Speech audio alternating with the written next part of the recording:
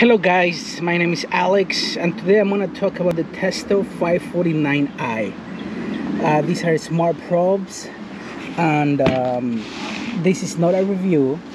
This is just something I use to read pressures to avoid putting the gauges and losing uh, refrigerant.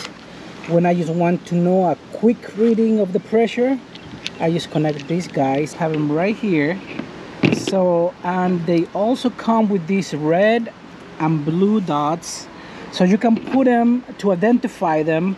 Blue is the low pressure or the suction line and this is my temperature clamp. And this is my pressure test uh, my pressure gauge.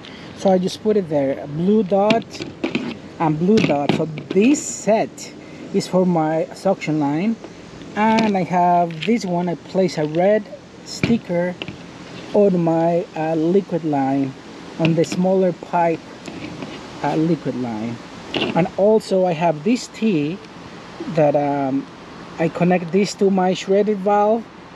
I put here my pressure gauge. And then I can uh, have my refrigerant line here to charge if I need to charge. Okay so once you have you downloaded the application you're gonna press on that icon and this is the first screen you're gonna see.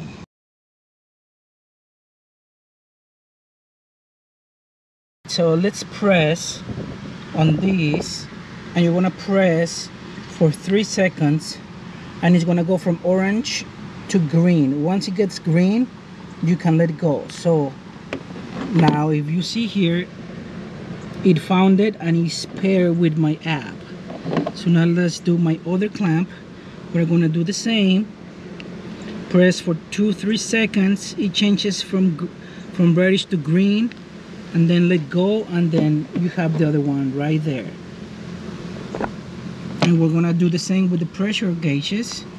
Press for three seconds orange and then it's gonna change to green. That's green. So that's there.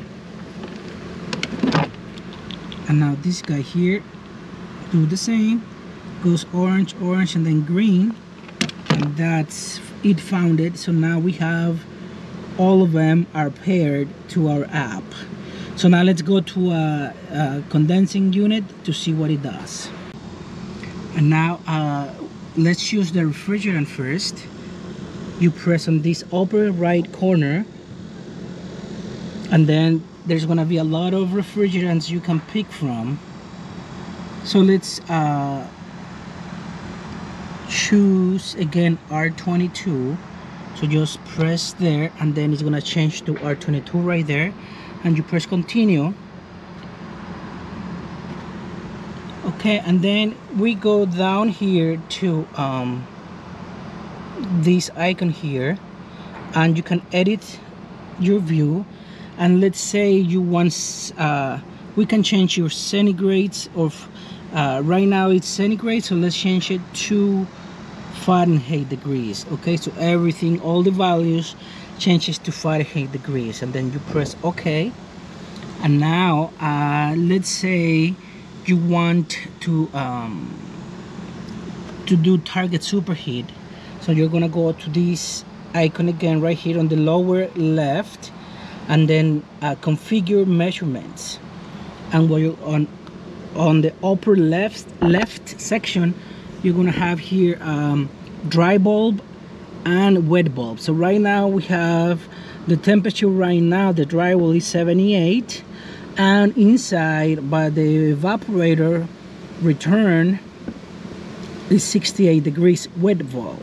And now you press ok right here on the lower right and then your target superheat is going to be 22 degrees um, if you are low in charge like this is the case your superheat is going to be in the 60s 50s 40s whatever and you add refrigerant to lower uh, your superheat so if it's 50 add refrigerant is going to go little by little 45 40 35 so you're going to add refrigerant until you reach the desired target superheat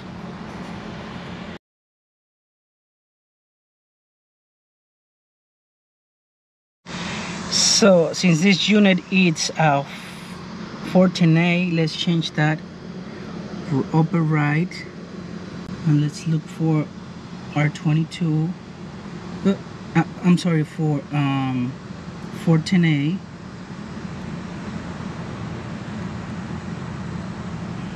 410A press continue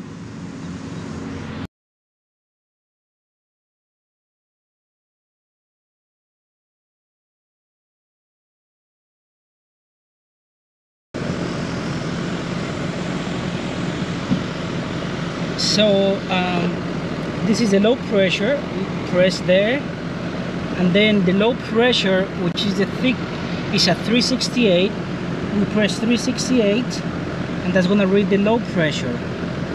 And now the low pressure uh, clamp is this one and that's 615 so we're gonna put it in the suction line and we're gonna look for the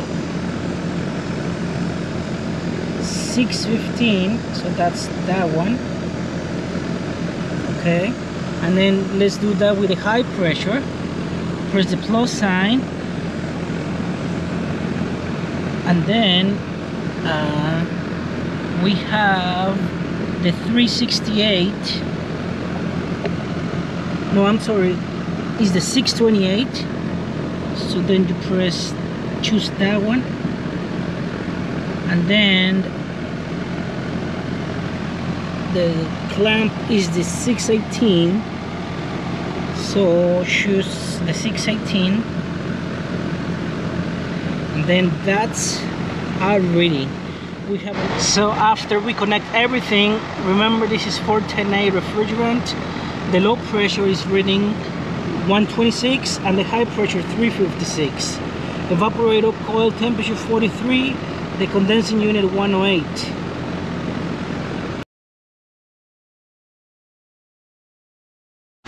So we connected our tank.